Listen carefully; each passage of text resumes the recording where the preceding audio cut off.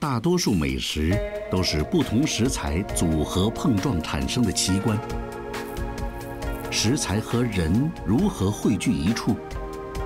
每一次相逢历经怎样的艰辛，创造怎样的惊喜？东方到西方，塞北到江南，将讲述食物与人携手走过的旅程。顽强的味觉记忆。召唤人们一路追随，《舌尖上的中国》第二季，未来娱乐台尊荣呈现。